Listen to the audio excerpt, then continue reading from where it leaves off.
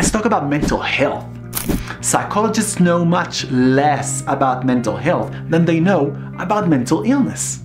I will say it again because this is the main message I want you to take from this video. Eliminating a mental illness does not ensure a healthy, thriving, and competent individual.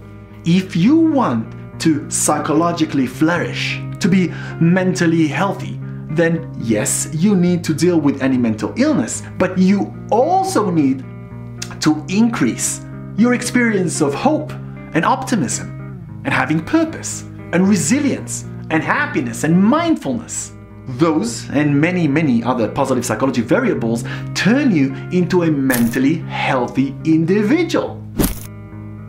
For us to engage with mental health, we need to investigate psychological topics such as happiness, personal meaning in life, hope, resilience, passion, optimism, mindfulness, flow, our character strengths. In other words, we need to study positive psychology.